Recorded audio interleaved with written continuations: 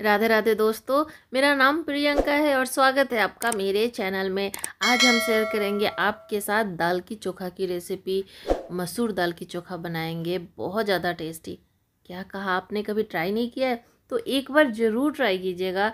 बहुत ज़्यादा टेस्टी चोखा बन के तैयार होता है। अगर आपका कभी सादा प्लेन खाना खाने का मन करे ना तो ये चोखा ट्राई कीजिएगा। यकीन है, हमें आपको बहुत ज़्यादा पसंद आने वाली है। तो चलिए, हम बनाते हैं मसूर दाल की चोखा।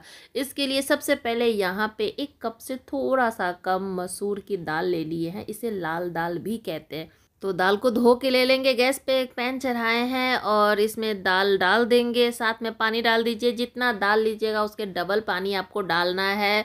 और यहाँ पे हम पानी डाल दिए हैं। आधी छोटी चम्मच हल्दी पाउडर डाल देंगे, नमक डाल देंगे। यहीं पे टेस्ट के अनुसार और ढक के हम इसे पका लेंगे।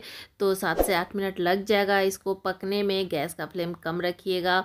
और यहाँ पे पाँच छः मिनट ही ढक के हम पकाए हैं और आप देख सकते हैं ना, मसूर का दाल बहुत जल्दी पक जाता है।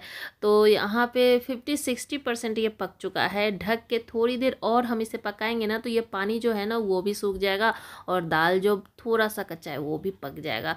तो यहाँ पे दो तीन मिनट के लिए ढक के पकाए हैं और आप देख सकते हैं दाल बहुत अच्छे से पक चुका है तो बस हाँ दाल को आपको अच्छे से पका लेना है, भले ही जितना टाइम लगे।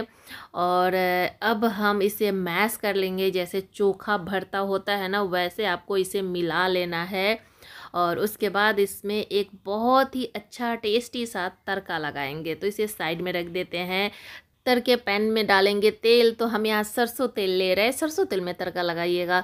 और एक छोटी चम्मच अजवाइन डाले हैं। आप अजवाइन की जगह पे काला सरसों या फिर जीरा भी डाल सकते हैं। अजवाइन जब भुन जाएगा तो एक मीडियम साइज़ के प्याज को महीन चॉप करके डाल देंगे और एक हरी मिर्ची भी डाल दिए हैं और अब हम इसे भून लेंगे तब तक जब तक ये प्याज का कलर पिंक ना हो जाए। तो बहुत जल्दी हो जाएगा, एकदम ब्राउन नहीं करना है, बस हल्का सा प्याज का कलर चेंज हो जाए। यहाँ पे प्याज हमारा भुना गया है।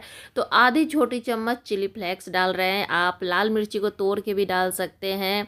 और आप चाहे तो स्किप भी कर सकते हैं। यहाँ पे तड़का हमारा तैयार हो गया है। गैस को बंद कर देंगे और इस तड़के को डाल देंगे चोखा में। तो बस इस तड़के को चोखा में डाल के अच्छे से मिला लेना है। वैसे आप चाहे तो बिना तड़के के भी चोखा बना सकते हैं। बस प्याज कट करके, हरी मिर्ची कट करके ऊपर से इसमें मिला लीजिए और बस सरसों तेल कच्चा थोड़ा सा डाल दीजिएगा, चोखा तैयार हो जाएगा। हम यहाँ पे थोड़ा सा स्पेशल तरीके से इस चोखा को बनाए हैं जिससे इसका टेस्ट डबल हो जाएगा। और हाँ धनिया का पत्ता ज़रूर मिलाइएगा, ढेर सारा। अच्छे से मिक्स कर लीजिए और मसूर दाल का चोखा बनके तैयार है। चावल दाल, चोखा, रोटी के साथ चोखा, पराठे के साथ चोखा, आप किसी के साथ भी इसे खा के देखिए, मज़ा आ जाएगा। हमारे यहाँ तो चावल दाल चोखा बहुत ही प्यार से खाया जाता है।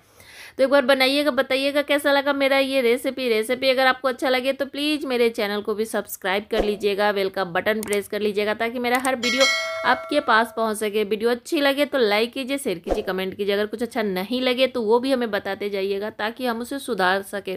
थैंक यू मिलते हैं आपसे नेक्स्ट वीडियो में एक और अच्छी सी रेसिपी के साथ।